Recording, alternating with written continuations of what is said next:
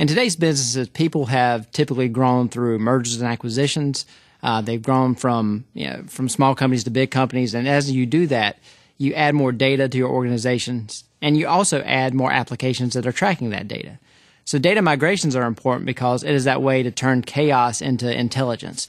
If you have five, ten, maybe 15 different systems that are uh, organizing your customer information, you won't be able to make any sense about what your customer means to you or who your high value customers. The same goes for products and, and employees and supplies. The data is out there, but it's typically spread amongst dozens of applications. So data migrations is your way to create rules and start to intelligently integrate that information together and deliver a single version of the truth that makes sense to your organization.